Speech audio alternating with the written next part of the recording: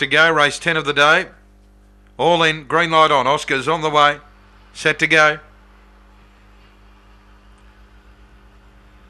Racing.